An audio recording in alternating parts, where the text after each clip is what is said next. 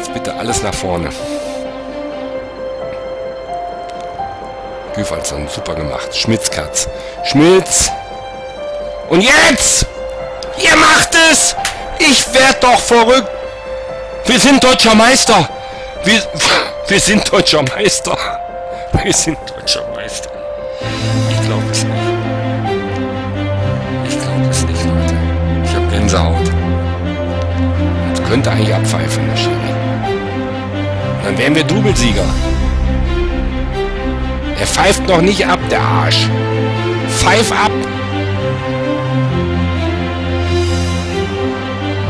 Endlich, wir sind Doublesieger. Wir holen die Champions League nach Rostock.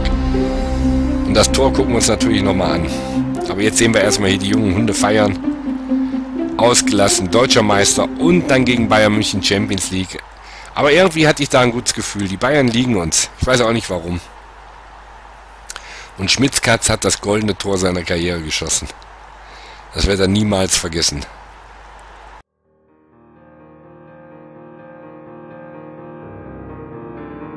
Erster Spieltag steht vor der Tür. Es geht wieder los. Saison 2021-22. Ich darf euch herzlich begrüßen bei meinem Let's Play. Und ja, auf geht's. Gespannt dürfen wir jetzt sein. Die Mannschaft, die wir jetzt hier aufs Feld geschickt haben, wo ich euch ja mit stark beteiligt habe an den Aufstellungen. Deswegen heute live gesendet für euch. Und ich bitte euch, schreibt mir viele Kommentare heute. Lasst uns dieses Let's Play gemeinsam. Und da ist das erste Tor. Und wer macht's? Poyampalo macht es. Leckt mich am Arsch. 1 0 Führung. Das ging ja jetzt richtig fix. Düsseldorf hält den Ball sicher. Das war eine klare Geschichte hier. Also dieses Spiel können wir als guten Start in die neue Saison verbuchen. Wenn ich den Tabellenstand sehe, wir sind auf 1, dann können wir jetzt die Saison gleich beenden. Dann wären wir deutscher Meister. Das wäre natürlich grandios. Aber erster Spieltag brauchen wir hier noch nicht drüber sprechen.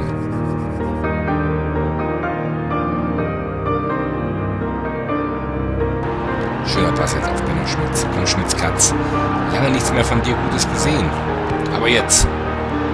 Aber jetzt. Und da ist die Chance und 2 zu 1. Und ich glaube, das war Borswick, genau. Conor Wickham sieht aus wie Borswick Jackson. Und der hat heute echt eine Rakete im Arsch. Der ist heute fit. Borswick, bester Mann. Also Jackson heißt wie eine Frittenpfanne, kann man sagen. Und wir sind Tabellenführer.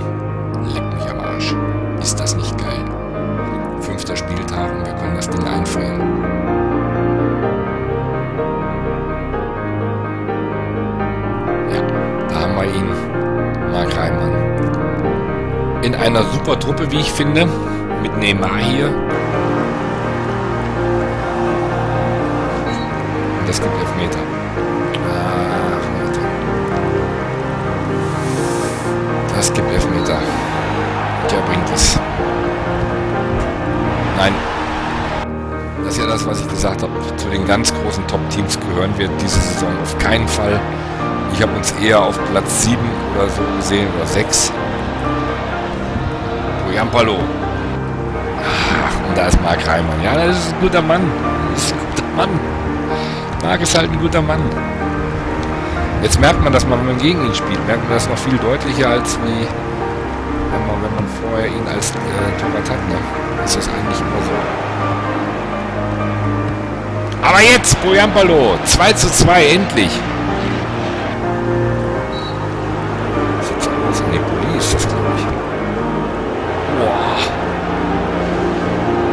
Willi Bulli macht sein zweites Tor. Wir gehen 3 zu 2 in Führung. eine, eine Willensleistung, die uns hier zum Sieg verholfen hat. Das war ein Arbeitssieg, das war ein Kampfsieg. 3 zu 2 gegen eine ausgezeichnet spielende Schalker Mannschaft.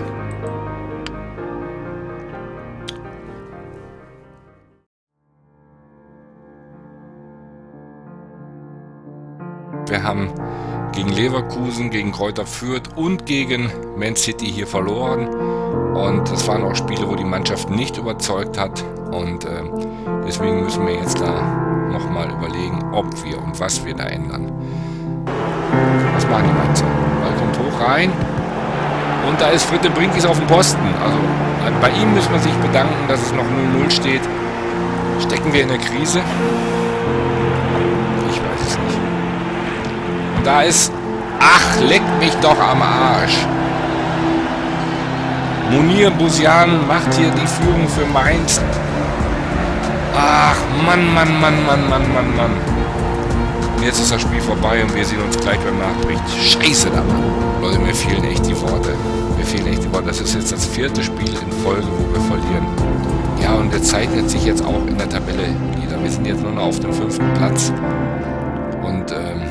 Da ist es gut, dass wir jetzt erstmal überwintern. Aber mit Meisterschaft, da gibt ihr mir recht, haben wir im Moment nichts zu tun.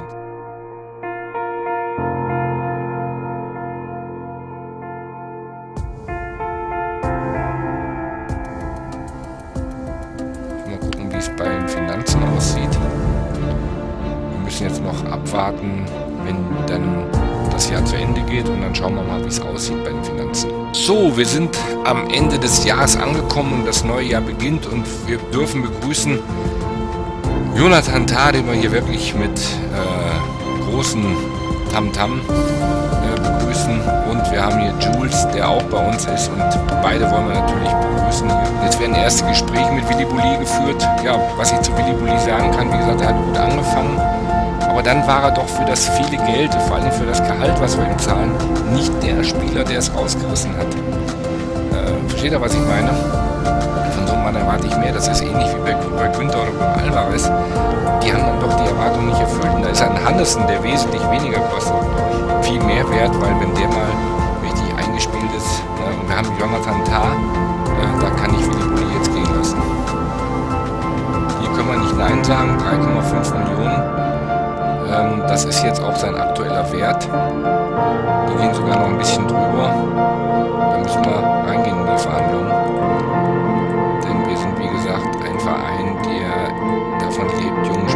auszubilden, aber auch abgeben zu müssen. So, und es hat funktioniert. Wir dürfen Vlacho Dimos äh, begrüßen und äh, ich denke mir mal, das war dann die Zeit für Fritte Brinkis. Grütering wechselt nach Tottenham. Julian Neu erhält neuen Vertrag. Hannesen auch. Pasquale wechselt nach Florenz. Borussia Mönchengladbach und FC Hansa Rostock 10 Millionen nochmal ein wichtiger Mann für die Innenverteidigung und ähm, bin gespannt, wie es bei euch ankommt.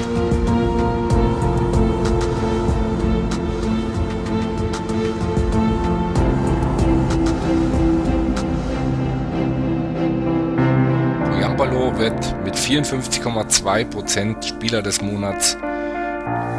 Ja, und Kevin Prinz Boateng und Patrick Weihrauch auf 2, also das ist schon toll. Da ist er wieder und jetzt macht das endlich. Patrick Weihrauch mit seinem achten Tor. Ah, schön. Poyampalo. Vorlage von Patrick Weihrauch. Patrick Weihrauch. Jawoll.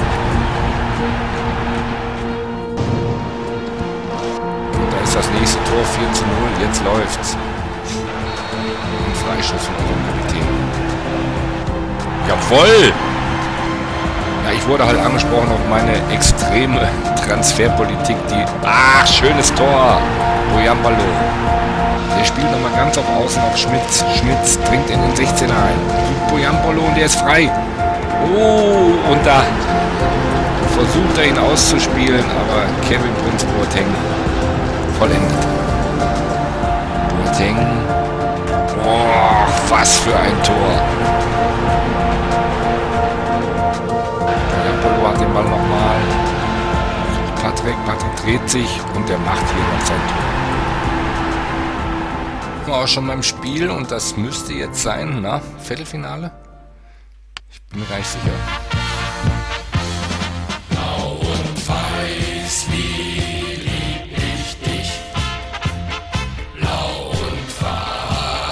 verlass mich nicht.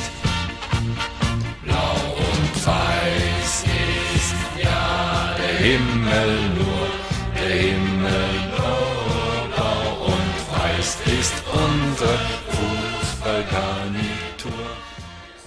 Das war Blau und Weiß mit Fritz Meloni als Background-Sänger und auch als Background-Tänzer.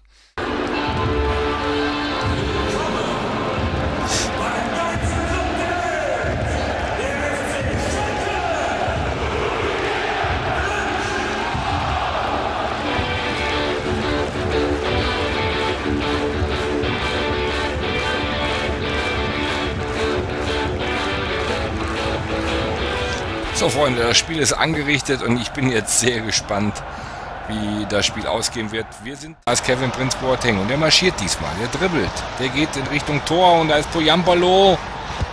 Und da ist das 1 zu 0. Das ging jetzt sehr schnell, das ging für die Schalker zu schnell. Und Joel macht hier sein erstes Tor.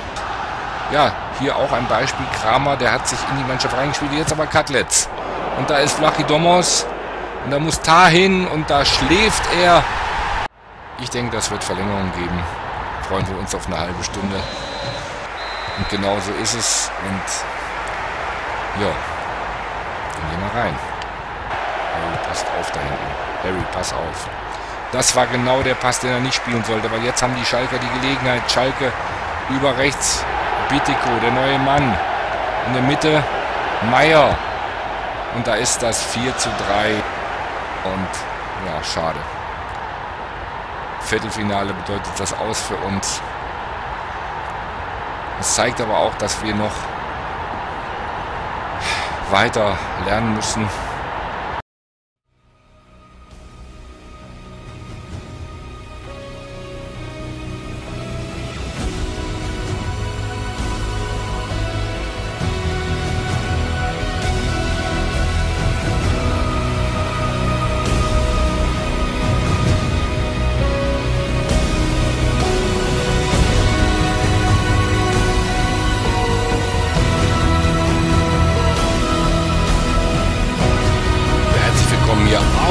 Manchester.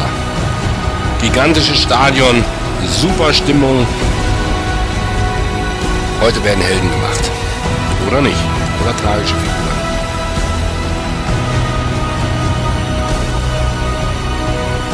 Ich bin sowas von hin und her gerissen, welchen Weg wir hier mit Hansa Rostock gegangen sind. Und jetzt stehen wir hier auf diesem Rasen und können ins Endspiel einziehen gegen Bayern München. Gehe davon aus, dass die Bayern ins Endspiel kommen. Besser geht's doch nicht. Ich glaube, wir waren schon mal im Endspiel. Champions League. Oder es war der Europapokal, ich bin mir nicht mehr sicher. Hinspiel 3 zu 2 für uns. Menu ist aber, das haben wir in den Interviews vor dem Spiel gesehen, voller Selbstvertrauen. Die denken gar nicht drüber nach, dass sie hier nicht weiterkommen könnten. Jetzt Prinz Boateng, der sich für dieses Spiel, das hat er mir vor dem Spiel noch gesagt, im letzten Spiel ein wenig geschont hat am Schluss. Und da ist Schmitzkatz und da ist Prinz Boateng, genau unser Kapitän, bringt uns in Führung. Dafür haben wir ihn damals vor drei Jahren gekauft. Und ich habe immer gesagt, für die internationalen Spiele brauchen wir diesen Mann. Und jetzt macht es unser Kapitän in seinem besten Jahr bei uns. Wir sehen es, Ronny Marcos ist natürlich ein ganz anderer Spieler wie Steinkrug. Ah! 1 zu 1. Scheiße. Schmitze. Boateng. Und da ist Weihrauch durch. Der legt nochmal nach außen auf Julian Neu. Nochmal Weihrauch. Und da ist es passiert. 2 zu 1 in der 38. Minute. Aber es sieht so aus, als wenn wir tatsächlich ins Endspiel kommen können. Mein Gott. Das wäre ja der Knaller. Oh, toll, wie er das macht. Julian. Julian. Oh, guckt euch das an. Boateng. Weihrauch. Und der Ball ist noch frei, aber Boateng hat den Ball. Güffelson. Und nochmal Weihrauch. Jetzt schwimmen die Engländer hinten. Jetzt schwimmen sie. Boateng.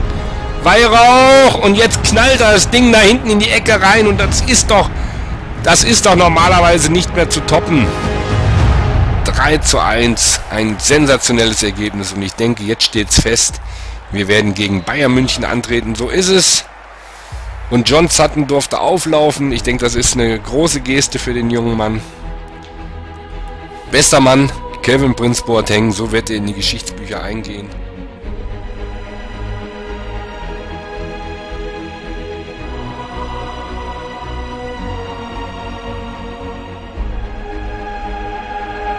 Und da ist Ronny Marcos. Ronny Marcos. Flanke rein und da ist das 1 zu 0 gegen den FC Bayern München. Und es macht Kevin Prince Boateng. Bo, Bo, Boateng. Bo, Bo, Boateng. 1 zu 0 für uns. Und es ist totenstill hier im Stadion. Wieder Bender. Wieder Boateng. Der sucht. Und jetzt, Weihrauch ist durch. Weihrauch tankt sich durch auf Poyampolo. Poyampolo beim ersten, Poyampolo beim zweiten. Ist er drinne? Er ist vorbei.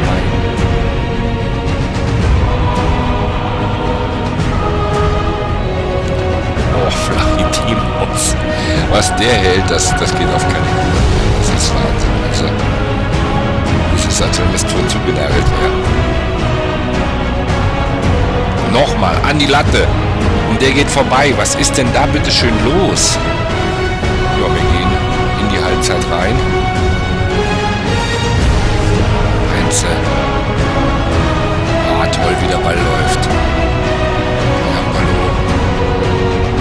Elfmeter. Mats Hummels. Ja, das könnte jetzt, wenn Patrick Weihrauch die Nerven behält, das 2 zu 0 sein. Und das ist das 2 zu 0. Er macht seinen 20. Treffer. Und vielleicht ist das der wichtigste Treffer seiner Karriere.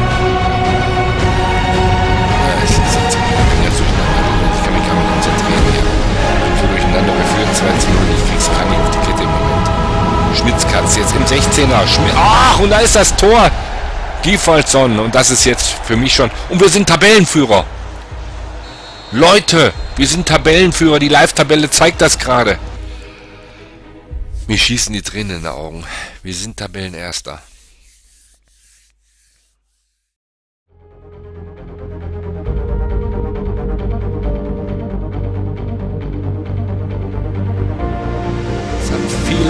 Geschichten gegeben in dieser Saison. Wir haben oft darüber gesprochen und jetzt ist aber genug der Worte gesagt hier. Jetzt müssen wir es auf dem Platz entscheiden. Herzlich willkommen hier aus Mainz. Ja, mir jagt gerade ein, eine Gänsehaut den Rücken runter, weil die Stimmung ist hier gigantisch, was hier Mainz auf die Beine bringt hier. Mainz legt hier wirklich ganz gut vor. Die wollen, die setzen uns unter Druck. Und da ist die erste Chance und da ist es passiert. 1 zu 0 für Mainz. Wir stehen wirklich hier an die Wand gestellt. Und die Mainzer führen uns gerade hier vor. Jetzt brauchen wir Kerle. Nietzsche, da er. Gifferson. Sucht Weihrauch. Weihrauch, jetzt die Chance vielleicht. Ah, knapp vorbei. Mann, Mann, Mann. Wir brauchen jetzt seine Tore. Wir brauchen sie jetzt. Aber jetzt stehst du da als Trainer am Spielfeldrand, hilflos wie ein kleiner Schuljunge, weil nur die Spieler können es noch richten. Nur die Spieler. Wir müssen reagieren. Wir haben noch einen Spieler, den wir bringen können.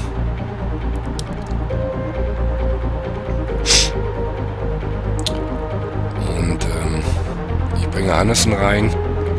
Wir in der Innenverteidigung brauchen wir das. Kann nicht hingucken. Bayern 3 zu 0 jetzt. Und er macht es! Ronny Markus macht es! Das 1 zu 1. Jetzt fehlt uns noch ein Tor, dann sind wir deutscher Meister. Ronny, was für ein Tor, vielleicht das wichtigste deiner Karriere. Und jetzt, Männer, holt alles raus, holt alles raus. Das gibt mir wieder Hoffnung. Den Ball nach vorne. Ah, zu kurz, zu kurz.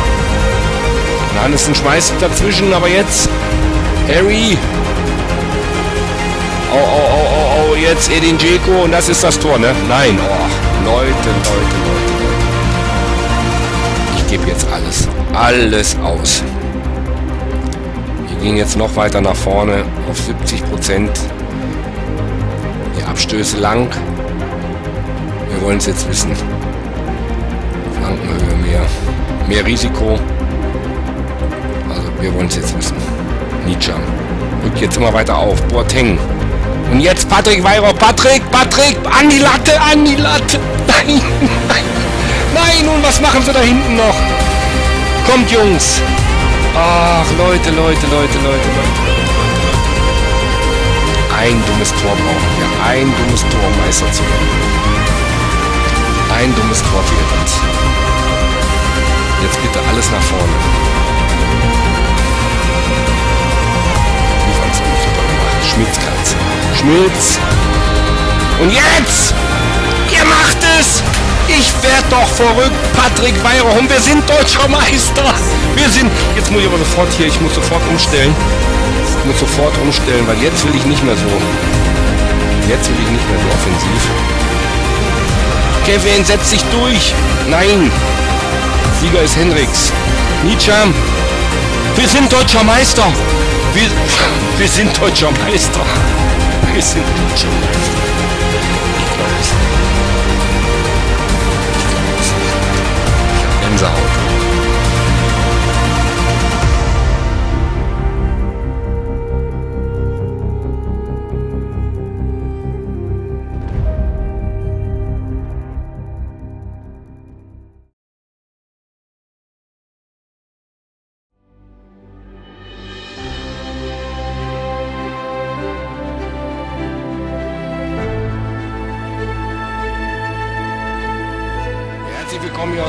Basel-Stadion. Ja, ich hätte mir natürlich ein, ja, ein, ein, ein schöneres Stadion als Endspielort gewünscht, aber da haben wir ja nur keinen Einfluss drauf.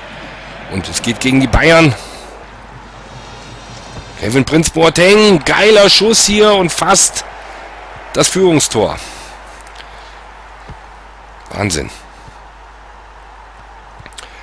kann vielleicht sein, dass ein oder zwei Spieler vielleicht mal so umworben werden von anderen Vereinen und die sich dann nochmal sagen, komm, ah, super hier von Patrick Weihrauch. Ja, erste Halbzeit, was haben wir gesehen? Ein FC Bayern, der anscheinend großen Respekt vor uns hat. Wir sind der deutsche Meister und so präsentieren wir uns auch im Moment. Aber ich denke mir, in der zweiten Halbzeit müssen wir jetzt auf jeden Fall zulegen. Jetzt steht unsere große Stunde, sage ich der Mannschaft. Und wir erhöhen den Einsatz. Wir, wir, wir sind deutscher Meister. Wir wollen den Pokal. Und so eine Chance kriegst ja so schnell wahrscheinlich nicht wieder. Bei den Bayern ist das was anderes. Die können fast jede Saison mitspielen haben jetzt einige Saisons gut oben mitgespielt, aber oft haben wir am Schluss, dann ging uns die Puste aus. Ah! Jawohl! 1 zu 0! Leck mich doch am Arsch! Und es macht der Schmitze, Schmitzkatz macht das Tor. Hier Boateng. Und dann kommt der Schmitze von hinten und macht das Ding rein. Eine tolle Mannschaft, die wir hier auf dem Platz stehen haben. Ich bin sehr stolz auf sie. Abseits. 57 Minuten sind rum und wir können uns langsam mit dem Gedanken vertraut machen, das Double vielleicht zu schaffen. Vielleicht sagen wir jetzt schon mal langsam Tschüss. Da ist er. Alles Gute für dich, mein Freund. Er wird uns verlassen. Er hat uns gute Dienste gebracht hier in Rostock. Werde ich auch noch ein paar Worte am Schluss verlieren. Und jetzt hoffe ich bald, dass der Schiri abpfeift. Zeit ist jetzt eigentlich rum. Bayern kommen nochmal über Außen, über Shakiri, Tar. Jetzt könnte eigentlich abpfeifen, der Schiri. Und dann wären wir Doublesieger. Er pfeift noch nicht ab, der Arsch. Pfeif ab!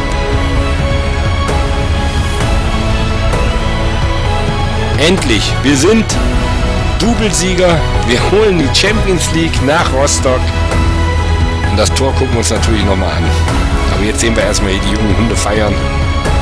Ausgelassen, deutscher Meister und dann gegen Bayern München Champions League. Aber irgendwie hatte ich da ein gutes Gefühl. Die Bayern liegen uns. Ich weiß auch nicht warum. Und Schmitzkatz hat das goldene Tor seiner Karriere geschossen. Das wird er niemals vergessen.